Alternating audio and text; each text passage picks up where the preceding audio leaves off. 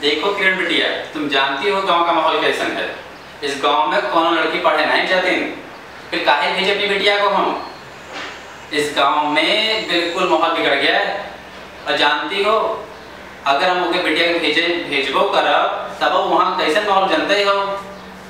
शारदा की ज़िंदगी में चूल्हा चौकाई लिखा है। उसे चूल्हा चौकाई करना है। क्या करेगी पढ़ लिख कर?